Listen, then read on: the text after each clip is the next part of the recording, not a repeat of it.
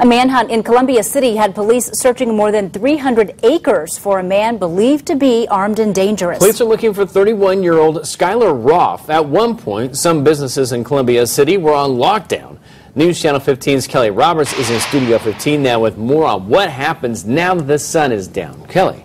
Well, Brett and Heather, as daylight fell, the number of officers on the search were reduced, but police say they will find him. The lockdown has been lifted on businesses and homes near a wooded area police are searching. However, Roth remains at large.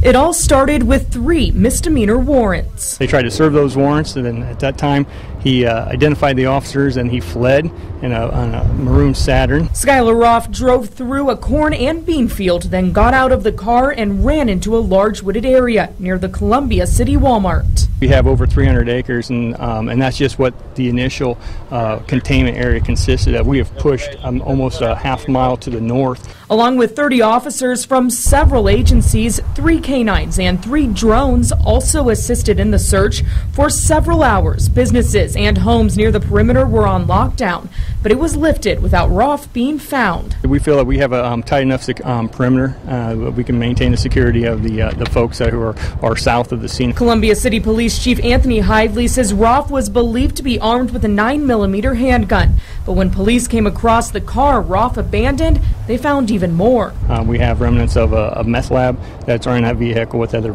um, firearms. Police say they are very familiar with Roth. We requested his mugshot from the Whitley County Jail. However, they would not release it to us. In Studio 15, Kelly Roberts, News Channel 15. Police